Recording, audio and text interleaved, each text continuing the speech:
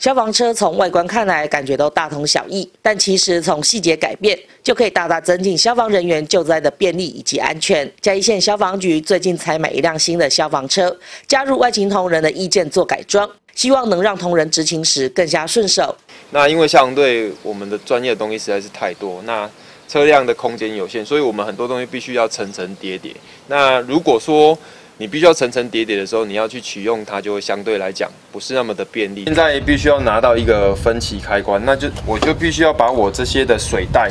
先把它给拿走，之后拿下来，然后我才可以从这里去取得我的这一个分歧开关。所以我们把它调整到呃你一次性就可以拿到的位置。所以我们把所有的物品都做了一个。适切的一个调整。队员胡家豪说：“旧型的消防车空间配置不够理想，工具摆放不够便利，所以设计收纳工具架。除了拿取方便外，工具摆放也更加整齐。因为救灾设备多为浅色，内部涂装特地选用深色，凸显救灾设备位置，一目了然。红色是相对亮眼的颜色，即便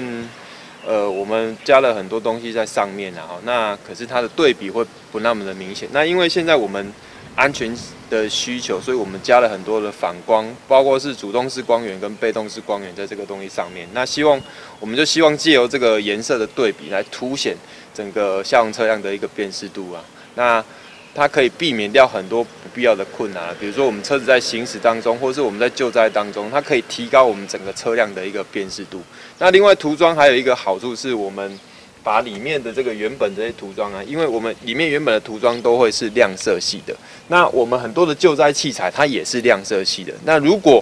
你我们没有做调整之前，其实你可以看到我们的消防车它整个都会非常的眼花缭乱。所以我们现在把我们的里面的内部涂装呢改成呃暗色系的，就是让它可以做一个。沉底的一个作用，然后把我们的器材放上去的时候，你就可以很显眼、很清楚的看到我哪一个东西放在哪里。另外，为了提升救灾安全性，外部另外加装爆闪灯，如遇天色昏暗或浓雾时，便可提高路上驾驶人的能见度，保障同仁执勤安全。本局在一百零九年呢，共编列有水箱车一部，还有小型水箱车两部，以及救助器材车一部，